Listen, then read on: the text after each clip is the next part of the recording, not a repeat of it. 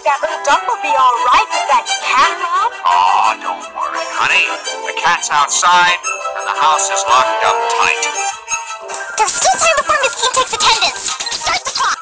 Hey, Blossom, why did the burglar mop the floor? I don't know, Blossom, why? Because he wanted to make it clean. Well, that's what you get.